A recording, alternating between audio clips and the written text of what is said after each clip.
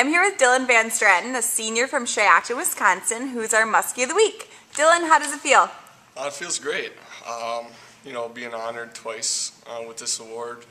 Um, it's always a, a, great thing when you can represent the college with an award like this. And um, hopefully there's, you know, more awards from the NAC, but, you know, and speaking of the NAC, a couple of times this weekend against Aurora, um, they came back and almost came back in the fourth quarter to beat us, but you had some key drives to help the Muskies win.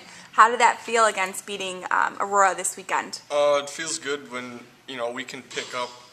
Um, you know, our defense was, you know, they struggled a little bit in that fourth quarter. Um, but if we, we just have to do our job and we just go down and, you know, we have the attitude that we want to score every time we get the ball. So um, it really wasn't anything different for us. It was just executing our plays and doing stuff right.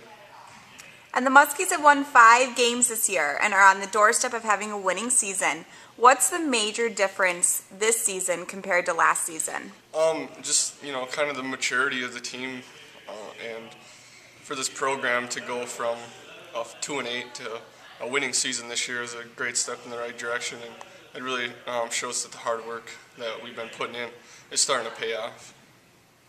And Dylan, our fan question of the week is that your senior game is this weekend.